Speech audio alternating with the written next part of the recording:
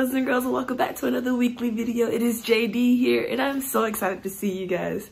All right, so again, our question of the month is who can you thank for everything? Who And who can you thank for everything? Yes, I can thank God for everything. Awesome job.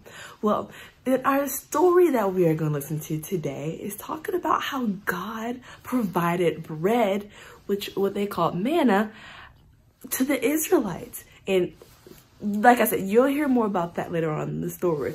But today, I want to ask you, what is your favorite Thanksgiving food?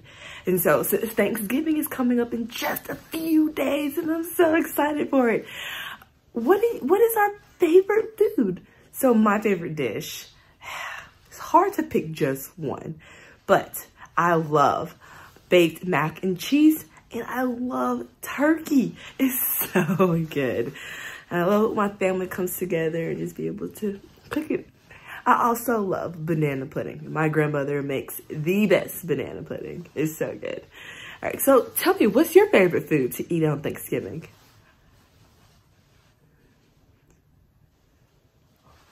Nice. Awesome. All right. So just like we like to have Thanksgiving food, God provides us food all the time, every day. Um, and we are to thank him for that. He provides us everything that we need. Um, and we should be thankful to God for everything that he gives us. Um, that's what the Israelites are going to have to learn when um, in the Bible story that we're going to listen to. All right, guys. Um, now I want you to do something for me, okay? I want you to go to somebody in your house, whether it's your mom, whether it's your dad, whether it's your grandmother, whether it's your grandfather, or your uncle, or your aunt, or anybody, or it can even be your brother or sister. I want you to go to them and I want you to say, thank you. Thank you so much. All right. Thank you for taking care of me. Thank you for playing with me. Thank you for being there for me. All right. Deal? Are you going to do it? All right. I want you to do it. All right. All right, guys. I'm so glad that you got to come and hang out with me today. And I will see you guys next week. All right. Have a happy Thanksgiving. Bye.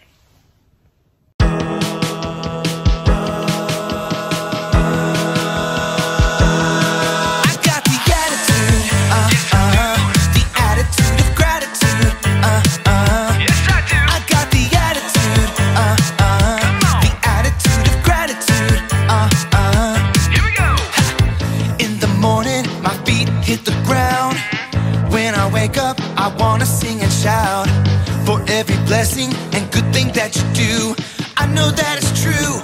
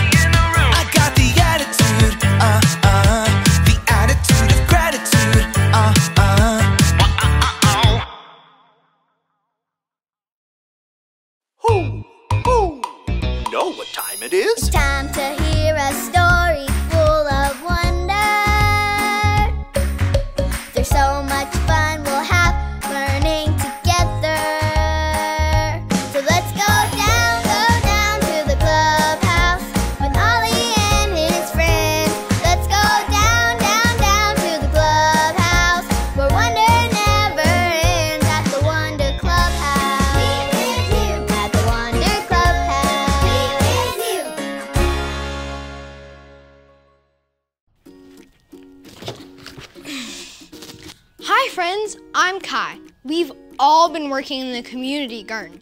Everyone's getting together for a ginormous feast. So my mom and I picked a bunch of food from the garden to cook. I can't wait to show you. These are zucchini.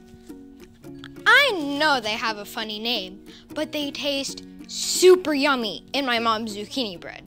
This smells so good. Oh, and we dug these potatoes out of the dirt. They make the best thing ever. Mashed potatoes. Mm-mm, good. What else do we have? Oh yeah, a pumpkin. Hmm, what can we do with this? Hoo! Hoo! It's Ollie. Hello, Kai. Hoo!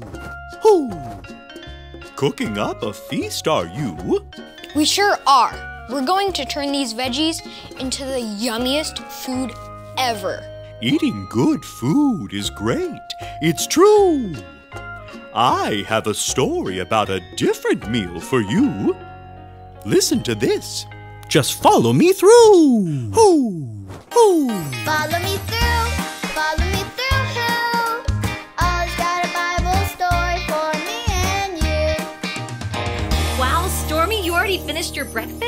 It must have been so good. oh, hi, friends. I'm Carrie, and this is my best dog, Stormy Jane. She just finished her delicious breakfast, and she is so thankful for it. That reminds me of a story. Do you want to hear it? Okay, well, today's true story from the Bible starts in a desert. Have you ever been to a desert? This one is hot and sandy and sweaty. Oh, look, it's the Israelites. They are God's people. But do they look happy? No, they look hot and sweaty and hungry. So God told them, I will give you food, and when you wake up, you can eat it. That night, while everyone was sleeping, God covered the ground with bread. Have you ever heard of something so amazing? God gave the people all the food they needed. And when the people woke up, they were so excited. God gave us food today. Yay! Thank you, God.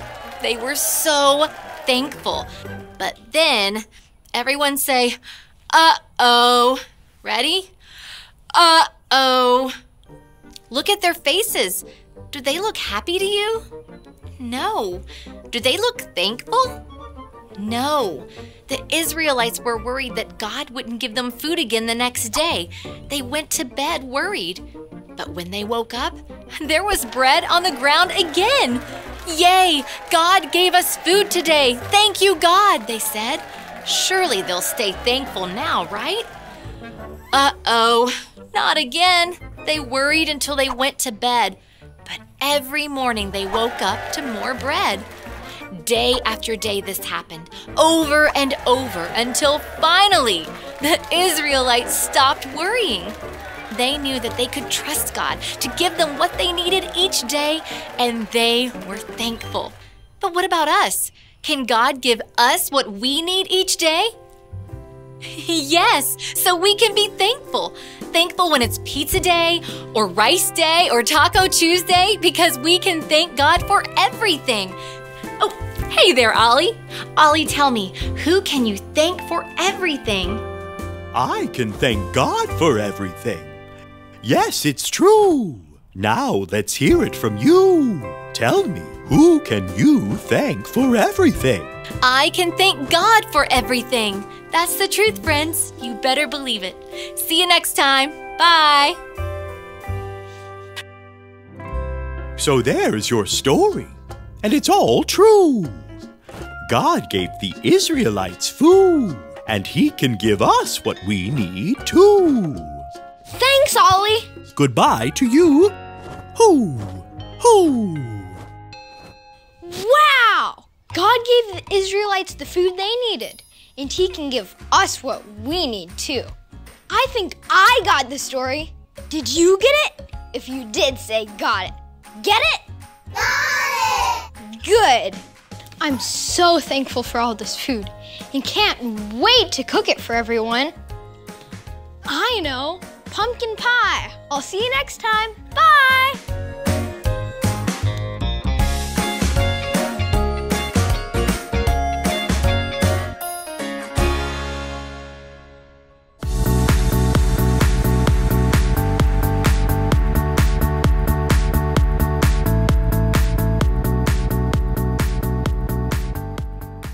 Give thanks to the Lord with my whole heart.